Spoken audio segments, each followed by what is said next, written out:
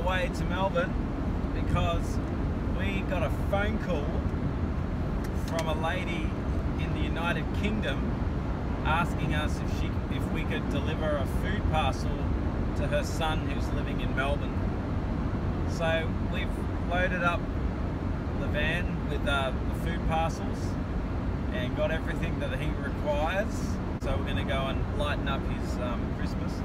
But we're also hopefully lighting up his mum's Christmas who's back in the UK. I feel pretty good about helping somebody else out for Christmas. It's Christmas time. You should be happy around this time of the year. It's also good doing the work of Jesus.